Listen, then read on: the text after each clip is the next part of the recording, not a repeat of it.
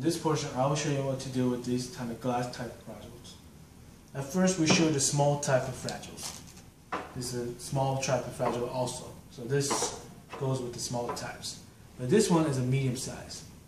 In this type of medium sized cases, we just use a bubble instead of just foams. First, you take the medium size. Since it's rounded, roll it over. If it's square type packages, you just put it in the middle and you just fold it over. If it's a square type, since it's rounded, you just roll with the bubble. It gets more cushion and more bubble like space. It gets thicker and safer.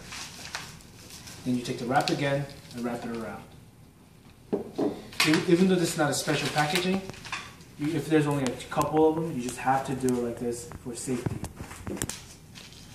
Then you take the bubble, roll it all together, nice and thick. Take the wrap, wrap it in forward motion, always in forward motion.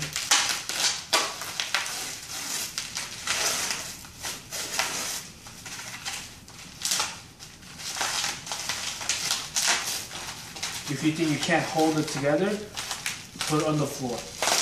Come back down. Perfect. If you're afraid of dropping it, you could just do it on the desk like this.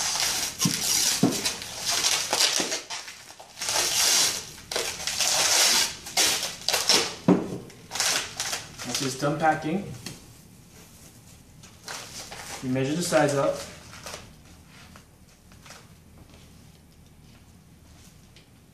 Find the right size box and you pack it into this box.